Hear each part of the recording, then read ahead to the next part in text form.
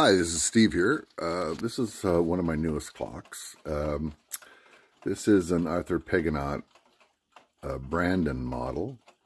It is uh, very original, uh, has a tin face, it's time only. I did that graphic on the bottom of Canadian time there just to try out my gilding skills. Looks pretty good. Anyways, uh, yeah, these are quite quite valuable and quite uh, sought after. It's a very um, unassuming clock.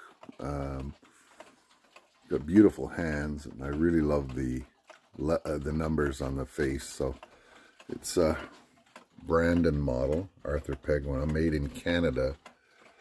Uh, in Kitchener, which was named Berlin before the war. They changed the name of the city because of the war. So got a great tick. I um, just clean the dust off it basically, clean the glass.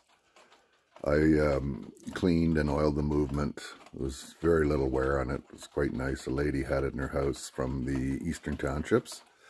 And I polished the pendulum bob. So it's really a beautiful clock. I, I just love it. So uh, my first Pequegnat clock.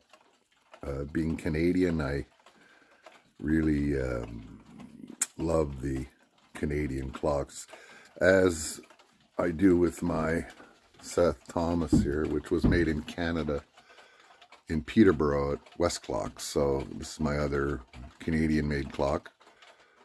Uh, but I'm, I just got this one. I saw it online and I went and bought it from the lady. She was moving and didn't fit in anymore. So I said, uh, well, I'll, I'll get it.